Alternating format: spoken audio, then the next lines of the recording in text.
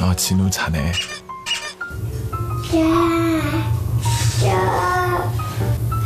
누구지?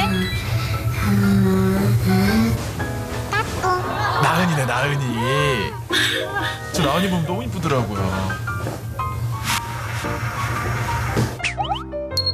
야 2층 침대구나. 오.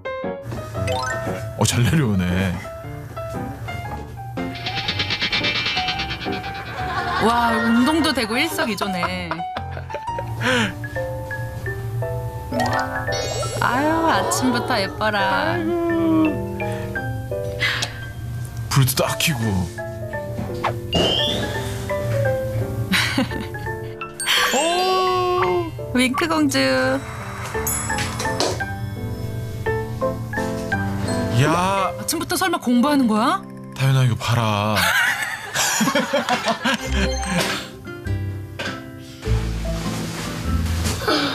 일어났다.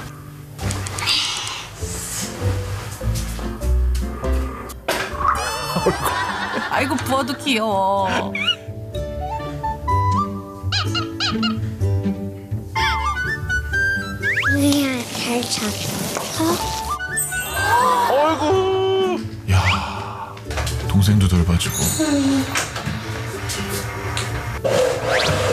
배를.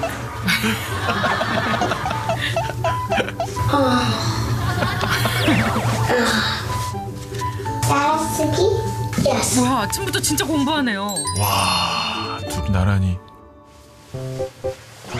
아이고 일어났어.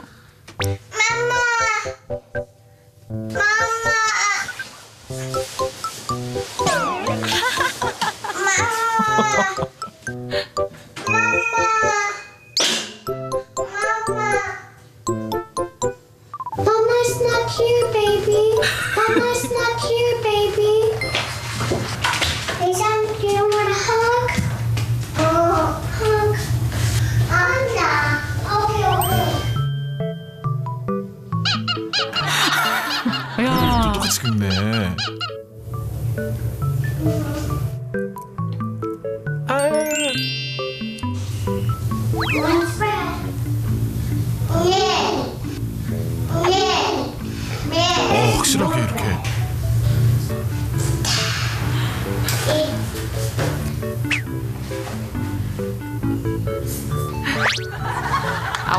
스타일 멋진데? 아 그러네요.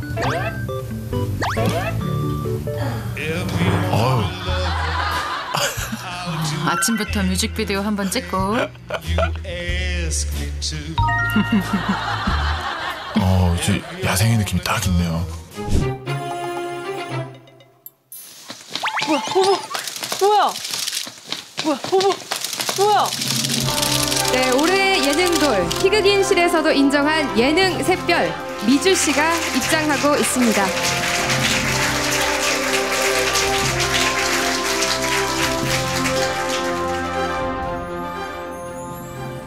놀면 뭐하니 기자간담회 본격적으로 시작해 보겠습니다. 울겠다 얘. 야 지금 너무 나갔다. 너도 너무 나갔었어. 난 좀 여유롭지 않았어요? 전혀. 질문하실 기자분들은 손 들어주시면 저희가 마이크를 전달하도록 하겠습니다. 네, 여기 앞에 체크무늬 입으신 기자분 질문해 주시죠. 안녕하십니까 미주 씨. 네, 안녕하세요. 송원석 기자입니다. 아, 네, 반갑습니다. 아이돌 문자. 러블리즈 미주다. 아츠 미주, 아츠 미주. 미주 씨는 최근 퀴즈에 취약한 캐릭터로 자리매김하고 계신데요. 간혹 컨셉이다 연기 아니냐는 의혹이 있습니다. 이에 대해 어떻게 생각하시는지 그리고 퀴즈 배틀 붙으면 이길 수 있은 인물이 계신지 어, 일단 그게 컨셉인지 아닌지부터 제가 좀 설명을 해드리자면 사실 진짜예요. 수수.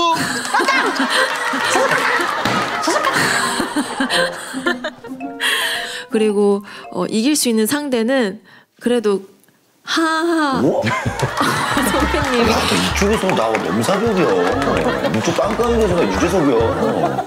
같은 시기를 좀 주고 하면은 제가 그나마 좀 이길 수 있는 상대가 아닐까 싶습니다. 거의 언제든지 커요. 아, 진짜 열받아. 네, 솔직한 답변 감사드립니다. 계속해서 질문 받아보도록 하겠습니다. 네, 뒤에 모자 쓰신 기자님 마이크 전달하도록 하겠습니다. 다 떠왔다 이제. 네, 안녕하세요. 예, 스포츠고 쇼쇼의 홍영기입니다. 스포츠고 쇼쇼의 홍영기입니다. 네. 스포츠고 쇼쇼의 정혁이입니다. 그 뭐라고 그 제가 원래 TV를 좀 많이 안 보는 편인데 MBC, KBS, SBS 그 어디 개그맨 출신인 거야? MBC, KBS, SBS 그 어디 개그맨 출신인 거야? 제가 아는 분이랑 말 닮으셨어. 어, 아, 아는 거 같아. 알았어, 알았어. 알았다 알았다. 준하 오빠 아니세요? 걸리신 것 같은데. 스포츠 고시고 최정우 기자입니다. MBTI 조사 해봤더니 그 ISFP라고 하시던데 맞죠? 네. 은근히 낯을 많이 가리는 데 어, 네 맞아요. 맞아요. 그 낯을 가려서 가장 어색한 멤버는 누굽니까? 일단 노면모하니에서 그 정준하 선배님이랑 왜 어색해? 네, 좀 다가가기가 좀 많이 힘들고. 왜 다가가기 힘들어요? 네, 그러니까 서운했어, 서운했어, 순간 서운했어. 저랑 이해 관계가 조금 이해 관계 많이 다, 다른 것 같아요. 이해 관계는 얼른 그 어떤 금전적인 문제가 이해관계 같은데. 이해, 그러니까 제 말은 음, 이해와 관계를 아 붙인. 이해 이해관. 네. 그럼 그런- 이해가 지나가고 내년 되면은 좀 관계가 좋아지나요? 아 그러니까 이런 게 안 맞는다는 안 건데. 맞으면 어떻게? 계속해야 되는데 안 맞으면 어떻게 해요?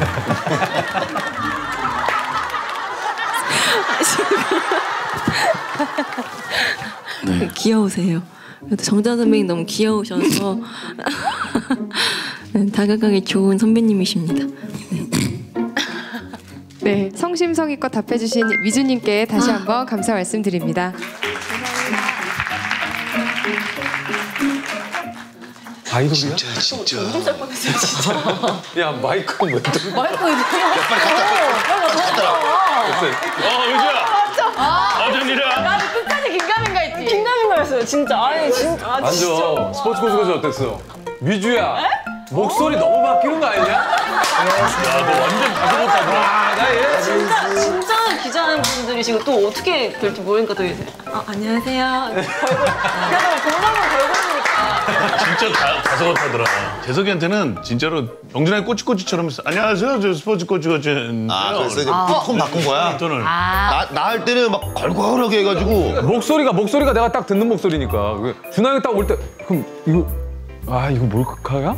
어. 아니, 예를 들면 그랬는데 또 아, 아닌 것 같은 거야. 또 뭐. 진지하게. 진짜랑 가짜랑 섞어 놓으니까 더 헷갈려. 아, 미치겠더라고.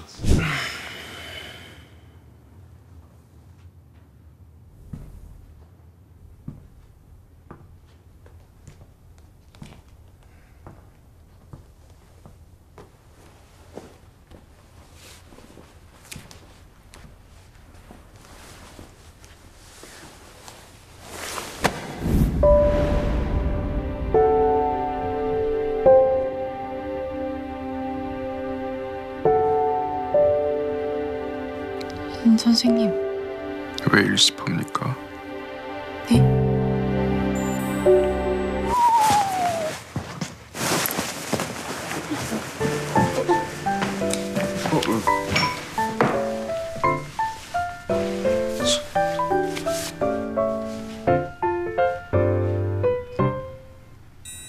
아니 아무리 사- 사람이 화가 나더라도 그렇지 사람이 그러는 거 아닙니다 문자할 때 제일 기분이 나쁜 게 뭔지 알아요?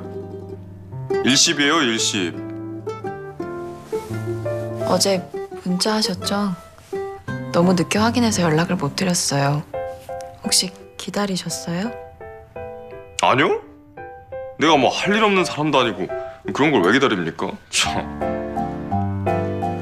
저 생선회 좋아하고 한밤중에 물어볼 수도 있고 제 음식 기호가 국가 기밀도 아니고 진 선생님 이상한 사람이라고 생각하지도 않아요. 대답이 됐나요? 네, 뭐 대충 예. 근데 왜 여기서 주무셨어요? 아 일찍 출근했다가 잠깐 잠들었어요 어제 통 잠을 못 자가지고 왜요? 아 그거야 다 윗집이 하도 시끄럽게 구는 통에 아, 층간소음 문제가 심각하다더니 공동체 생활에 대한 배려가 없는 사람들이 더러 있다고 하더라고요. 괜찮습니까? 뭐가요? 어제 상당히 긴 하루였을 것 같은데 어젠 죄송했습니다. 걱정해서 달려와 주셨는데 괜히 화만 내고 제 딴엔 진 선생님이 편해졌나 봐요. 투정을 다 부리고 사과드리겠습니다. 아니 뭐 살다 보면은 응, 그럴 수 있지 응, 뭔 사과까지 다 하고 그럽니까 언제든지 부려요 투정 내가 다 받아줄게 뭐 돈 드는 것도 아닌데 그까이 거뭐 어렵다고 네? 예?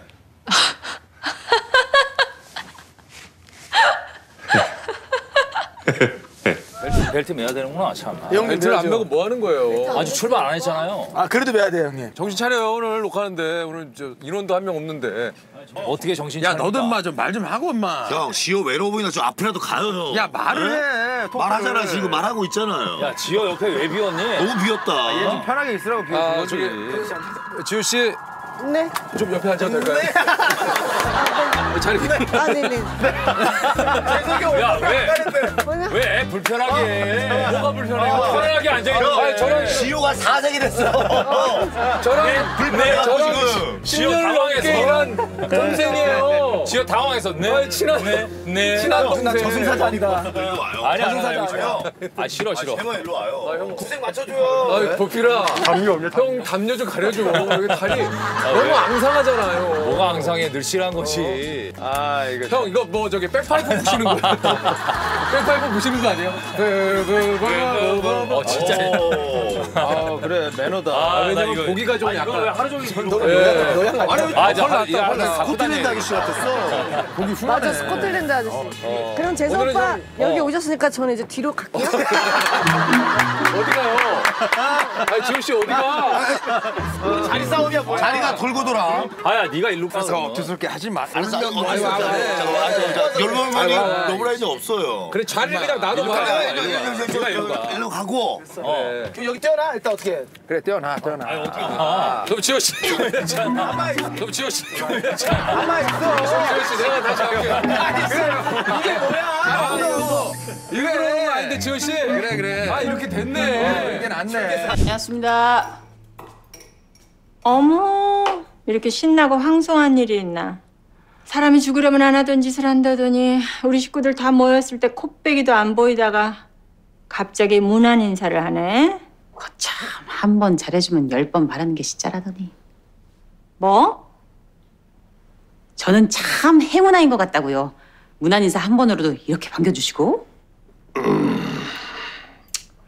마침 잘 왔다. 앉으려면 아니 아, 안 그래도 이 다들 모인 자리에서 얘기하려고 했는데 내 지난번에도 한번 얘기를 꺼냈다만 유민 호텔 말이다. 한주 호텔을 인수합병하는 식으로 몸집을 좀 불리는 게 어떠니? 당신 호텔 주인도 없는 자리에서 얘기해도 되는 거예요? 알고 있어요. 어차피 한 가족인데 겹치는 사업을 양쪽으로 유지하는 건 비효율적이긴 하죠. 경영은 누구든 유능한 사람이 하면 되는 거니까. 옳게 잘 생각해봐. 참 받는 며느리는 무지 괴로운데 뭘 계속 해주면서 자기들이 베푼다고 착각하는 게 시자라더니 저는 참 행운아인 것 같다고요. 그런 시댁을 안 만나서 옳게 작작 좀 해. 처지가 바뀌니까 본 모습이 너무 나오는 거 아니야? 본성을 드러낸다기보다는 제정신을 찾은 거죠. 이 집에서 살려면 그래야 되겠더라고요. 얼마 전에 차 사고 그렇게 나고도 정신을 못 차렸어? 평소에도 브레이크가 좀 있어야 될 것 같다. 제 브레이크는 멀쩡해요. 누가 일부러 손만 대지만 않으면. 근데 그 브레이크는 형님도 좀 가지고 계셔야 될 것 같은데. 어쨌든 합병은 감사하게 받아들일게요. 한주와의 관계가 돈독해질수록 저야 thank you죠. 여러모로.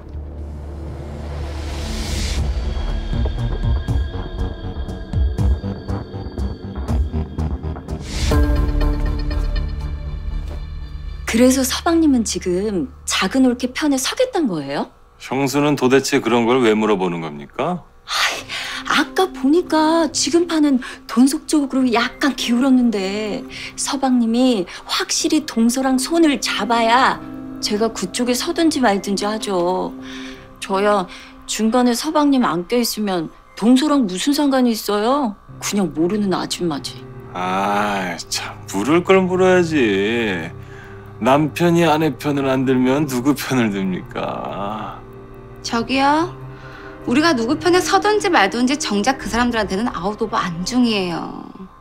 난 그때 언니한테 대놓고 편 들어준다고 했다가 개무시만 당했다니까. 누나도 그동안 우리가 경쟁 상대가 아니었어서 개무시했던 게 아니었을까 싶네.